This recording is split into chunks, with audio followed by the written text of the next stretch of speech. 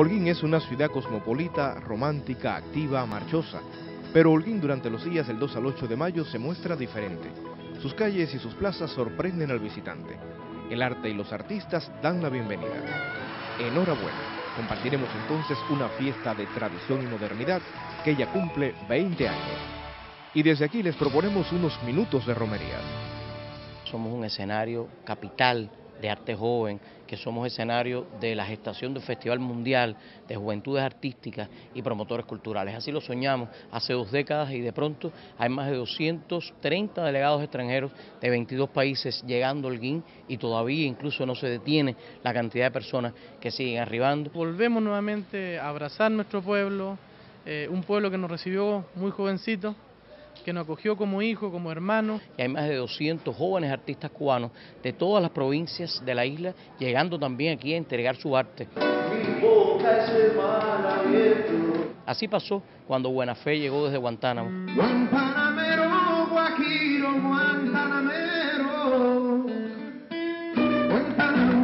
Como siempre digo, los artistas ponemos el 30%.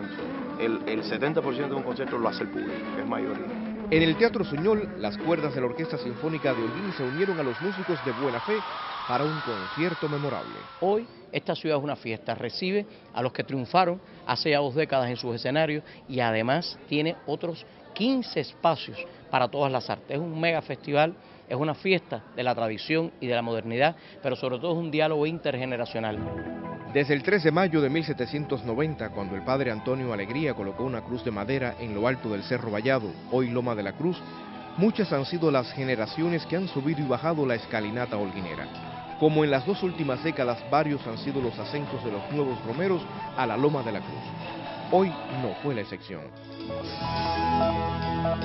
Los chilenos tienen un espacio especial.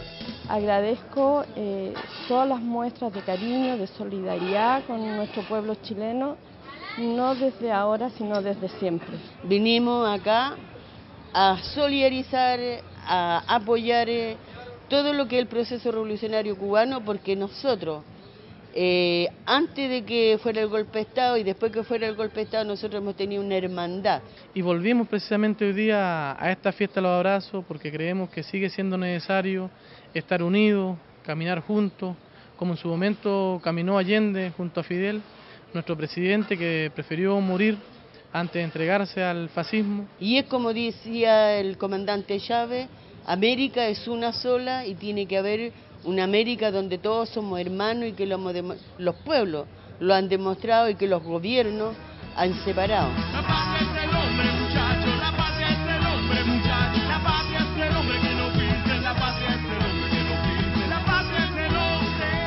Para nosotros este año, que se está dedicando el 160 aniversario natalicio de José Martí y además al 40 aniversario de lucha y de resistencia contra el golpe fascista a Salvador Allende, también significa un espacio que sirve de plataforma precongreso que se estará desarrollando este año en octubre de nuestra asociación y el segundo congreso de la asociación es además un espacio de diálogo, de debate, de discusión, de expresar las preocupaciones y los intereses de los jóvenes, de los artistas, de los intelectuales y además su compromiso social eh, con su entorno. Y yo creo que las romerías eh, en este sentido también tiene una, una carga, una importancia, una, una connotación.